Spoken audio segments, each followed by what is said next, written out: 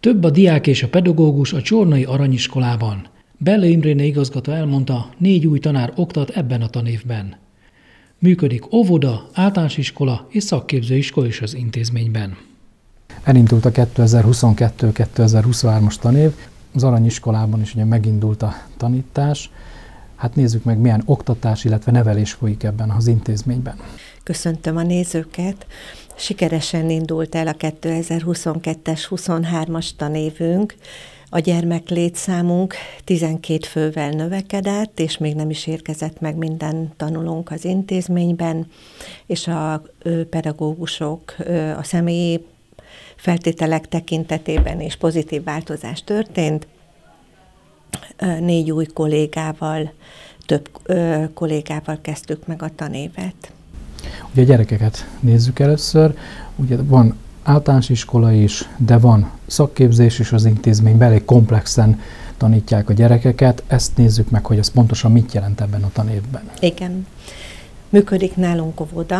Az óvodában 11 beérkezett kisgyerekünk van, és még mindig várunk egy kisgyerekre, aki jönni fog hozzánk.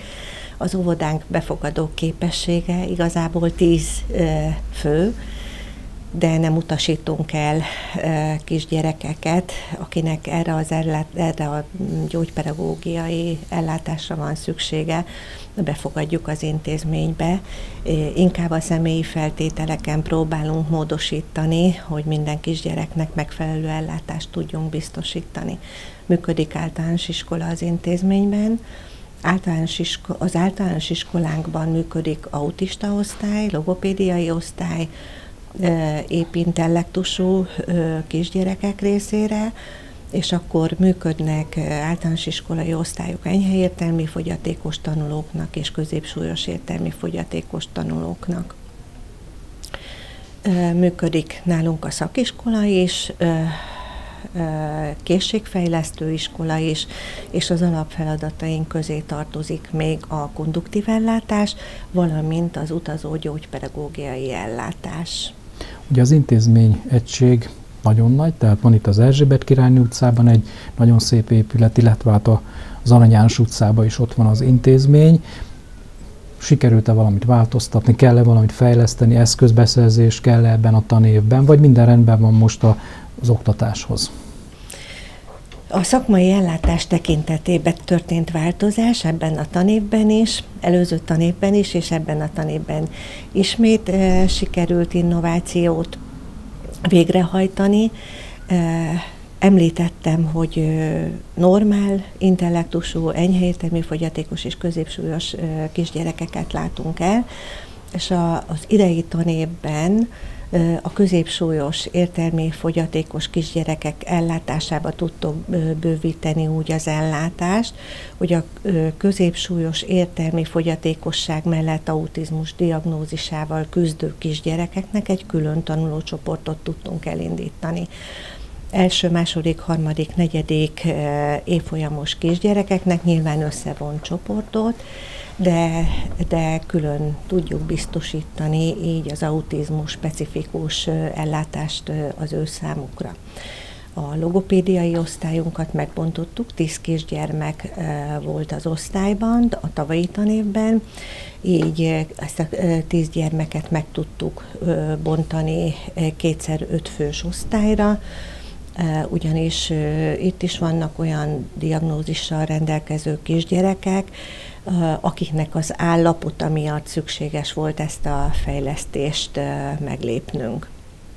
És akkor a készségfejlesztő iskolában is történt változás, ott szakma alapjainak az oktatása folyik, egész a tavalyi tanévig a szövöttágy készítőt ö, oktattuk a gyerekeknek, és az idei tanévtől bevezettük még a szövöttágy készítő képzés mellé a háztartástant, valamint az iroda technikai eszközök használatának a képzését. Ha a különböző átmeneteket nézzük, ugye akik végeznek az általános iskolába, és mondjuk ö, itt maradnak, és ö, szereznek szakmát, azoknak milyen lehetőségeik vannak most. Tehát azt gondolom a piac is, tehát a munkaerőpiac is meghatározza, de gondolom önök is, hogy akkor mi az, amit tudnak ezeknek a gyerekeknek a kezébe adni, hogy ők is tudjanak érvényesülni a mindennapokban. Igen. Hát a szakiskola tekintetében és jó hírrel kezdeném akkor. 13 gyermekünk tanul a 9. E osztályban, és a 9, ugye ez az előkészítő, szakmai előkészítő osztályunk, ez mind a két részszakmánknak az előkészítő osztálya. Két részszakmát oktatunk, a pargondozót és a sütőipari és gyorspékségi munkást.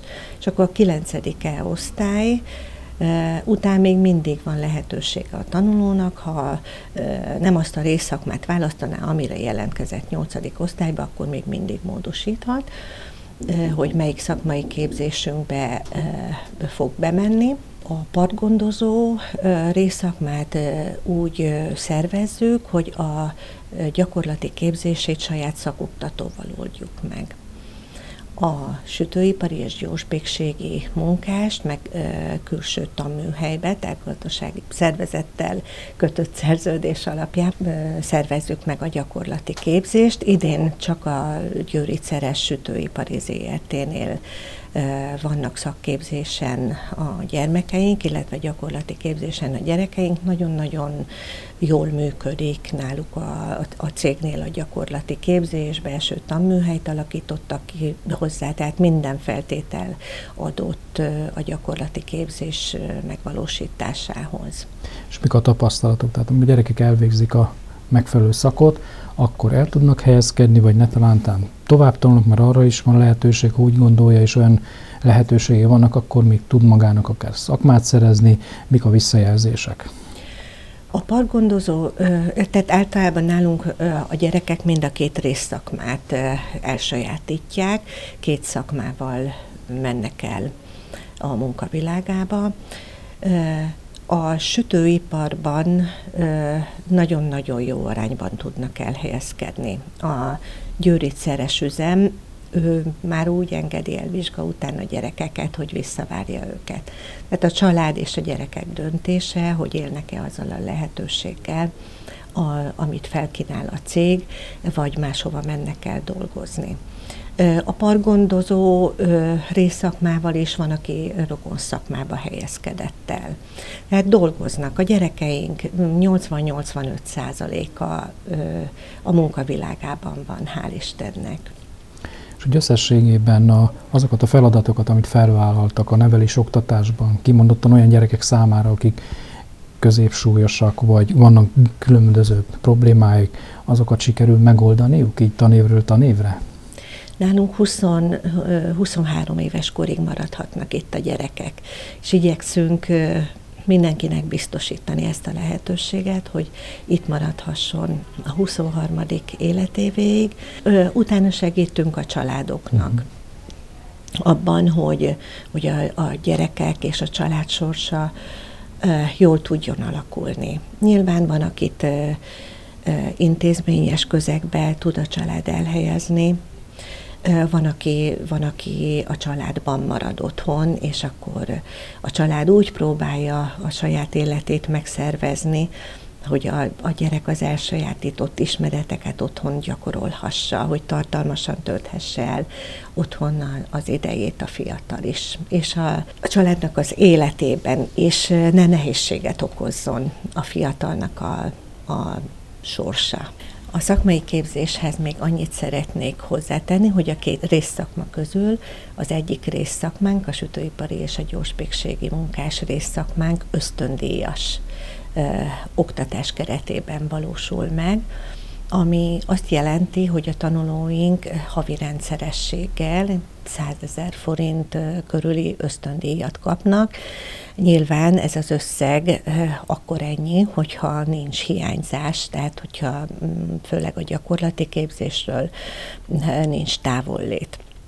És nyilván kötelezi a tanulót, egyéb feladatokra is az ösztöndíj. Nyáron a 9. és a 9. évfolyam befejezése után egész nyáron nincs nyári szünete a tanulónak, hanem meghatározott, szabadságos napot tölthet otthon, és a többi napon viszont dolgoznia kell. Tehát ez ízelítő egy kicsit már a munkavilágára. A másik nagyon fontos dolog, hogy úgy tudom, adományt is kaptak. Csornának, Színzing a testvérvárosa, és többszöri találkozás után kialakulnak az emberi kapcsolatok, és a Szinzingi küldöttségnek van egy pedagógus tagja. A küldöttség egyébként bejárta az intézményünket, nagyon-nagyon tetszett neki a korszerű épület, a korszerű pedagógiai ellátás, és azóta éves rendszerességgel kapunk adományokat. Idén is nagyon-nagyon sok játékot kaptunk, és gyönyörű kis ruhákat, ruhákat a gyerekeknek, amiket ki a családoknak és ez a kapcsolat akkor ez egy folyamatos kapcsolattá válik. Önök is megnézik a Szincingi intézményt? Igen, igen, én is jártam Mi a tapasztalat? Az intézményben, nekik kisebb az intézményük.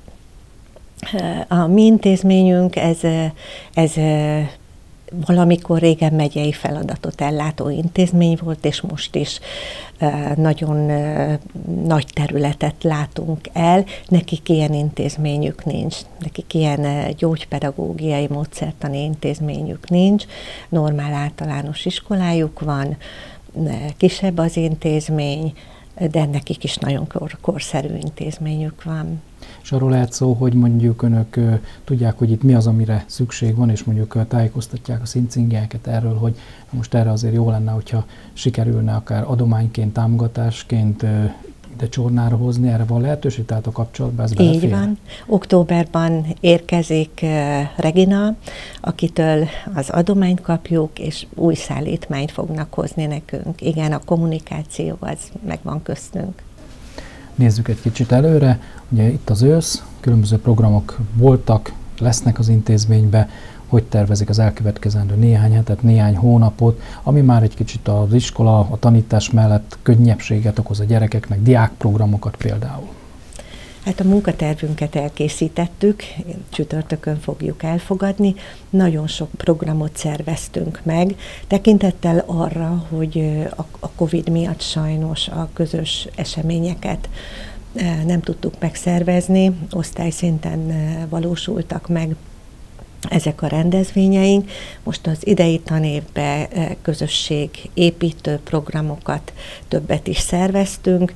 Nagyon-nagyon szeretünk kimenni Csornán a Vilmos Park területére, gyerekek is imádják, nagyon-nagyon szeretik. Madarak és Fák napján voltunk kint tavaly is szalonnasütést szerveztünk, tanösvénybejárást, horgászást, idén is szerveztünk a gyerek, terveztünk a munkaterben ilyen, és ehhez hasonló programokat reméljük, hogy meg tudjuk ezeket valósítani. Köszönöm. Köszönöm szépen.